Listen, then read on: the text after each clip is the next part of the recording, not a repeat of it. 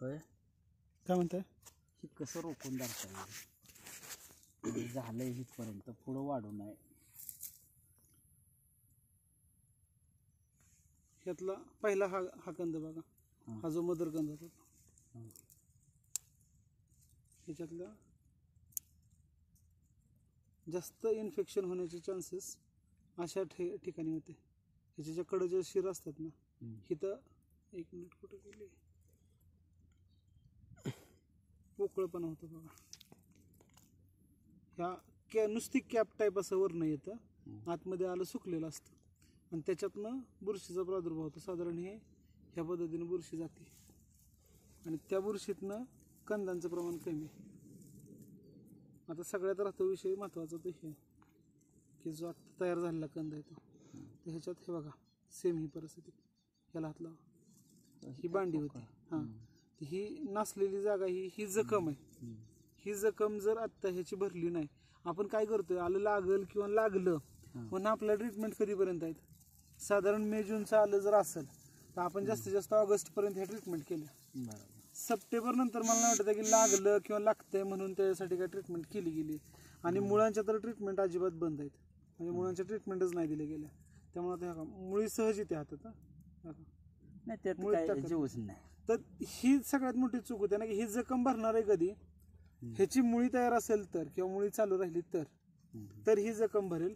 आणि तर ही जी नवीन कोंब येणार आहे की नाही ह्यांची आपल्याला वाढ भेटेल. म्हणजे गेलेल्या कंदातनं सुद्धा आपण फुटवा काढतो काढू शकतो. पण तो कधी? जर ह्याला ती ट्रीटमेंट झाली तर.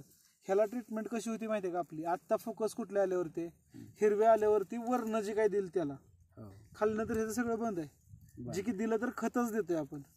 आणि खतानं ही मुळे अजून डॅमेज होते मग काय दिलं पाहिजे? ह्याला वरच्यावर साधारण शेड्यूल मध्ये एक नाही तुमच्या बाकीच्या भांड्या हिरव्या येत्या.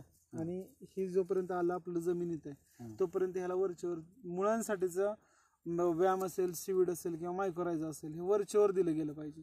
त्याचं शेड्यूल पाहिजे तर असं असलं पाहिजे की पंचवीस वीस पंचवीस दिवसानं एकदा हे द्यायचंच. मग फर्टिगेशन बरोबर दिलं तरी चालेल किंवा इंडिव्हिज्युअल दिलं तरी चालेल. ते गेलं पाहिजे. तर ह्या जखमा बऱ्या होतील. आणि ह्या जखमा जर नाही भरल्या प्रॉब्लेम असा आहे की ही जर जखम नाही भरली आणि ही जर अशीच नासत राहिली तर अख्खी कुडी डॅमेज होते. आपल्याला उत्पन्नातली घट भेटणार. नाही होतेच. जे तर लागलं नाही तर एक- काहीच गाव एक पार्ट तो झाला की जखम आहे ती कुडी तर डॅमेज झाली शिवाय ज्या फुटव्याच्या कुड्या निघल्या होत्या को डोळे निघलं होतं डोळं पण गेलं. म्हणजे आलं आपलं परत बिघडतंय. आमचं असं म्हणणं आहे, हे गेलंय ना. हे गेलंयच फक्त हे इकडं पुढं सरकू नये हा. ह्याच्यासाठी.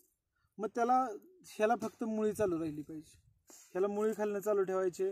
आता ही झालेली चूक आहे की कंद आपल्याला सुरुवातीचा बिघडलेला कंद. ही सुरुवात आहे इथनं. ही सुरुवात सुधारायची पुढच्या प्लांटेशनमध्ये. आणि दुसरी महत्वाची गोष्ट की ह्याला शेड्यूल मध्ये कंपल्सरी रूट डेव्हलपमेंटसाठी काय ना काहीतरी दिलं गेलं पाहिजे. रूट डेव्हलपमेंट ही महत्वाची.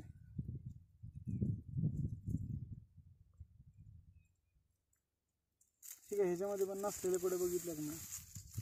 हे कुडी नसलेली वर्ण. पण त्याचा अर्थ आतमध्ये इन्फेक्शन किंवा सेप्टिंग नाही झाले. ह्याला शेजारी डोळा निघलाय. म्हणजेच त्याची निघाला चाल तरी ते पोरच आहे. आता तुम्हाला चांगली कुठे उघडा की. विशेष डोळं बघाल हा हा जो काही डॅमेज भाग आहे हा. डॅमेज इन्फेक्टेडच आहे ना? तर ह्याचा डोळा हा फक्त तात्पुरता दिसेल पण तयार नाही होणार आहे लवकर. आणि हा सुधारण्यासाठी आपल्याला बऱ्यापैकी ह्याला अँटीबायोटिक देऊनच सुधारायला पाहिजे. बघा ह्याला इथं होल आहे मी तेच दाखवायचा प्रयत्न करतो इथनं नकानं उ- उ- उकलून बघा की. नकानं उकला फक्त. आतमध्ये आला असेल आणि वरची कॅप आहे हां. आणि इथनं इन्फेक्शन होतं. म्हणजे जमिनीत जर दोष असला तर इथलं इन्फेक्शन शंभर टक्के. आता एक आपण चांगली कोळी उकरून बघू. कुठली तिथलीच काढूया का? काढता तरी येईल. नाही परत रान म- मऊ नाही ना. आहे त्याला काय मस्त. आपला हात मजबूत होते शूटिंग कर रे हो? पाणी जरा कमी पडतंय जरा डबल लॅटरल पाहिजे होते असं वाटायला लागलं जमिनीच्या हिशोबाने गरजेचे होते. पण काय नाही तुम्हाला सांगतो. मुळा आता तुम्ही आहे ना हां. रेडी म्हटलं ना ऐकळ वड बसली पाहिजे पाण्याच्या शोधार्थ मुळं फिरली पाहिजे काय होतंय त्याला तशी जमीन पण तेवढी हेल्दी लागते. मग पाण्याच्या शोधात मुळं जाणार की. पण जमीन तेवढी हेल्दी असेल तर. जमीन जर एवढी कॉम्पॅक्ट आहे तर मुळं त्याची चाल त्याच्यापेक्षा जास्त म्हणजे लिमिटपेक्षा जास्त नाही करू शकत. तेव्हा म्हणलं काय तुम्ही म्हणला तीस टक्के पाऊस. हां. तीस टक्के नाही पाऊस. हो चार थेंब पडले. तीस टक्क्याचं त्यांनी सांगितलं. ऐंशी वर जर असेल ना हां तर काहीतरी Stable. कुठल्या कांद्याला उभा राहतो. चल, उभं जात नाही तुम्ही.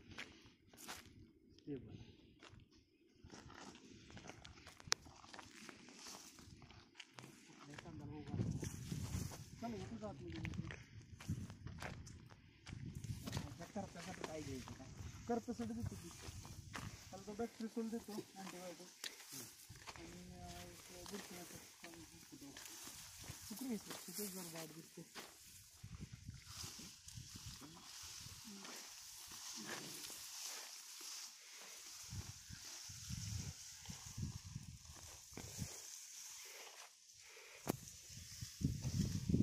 कमी आहे भांडीची संख्या कमी आहे ना? हां भांडी संख्या कमी आहे. फुटवा किती मुख फुटवा आता किती?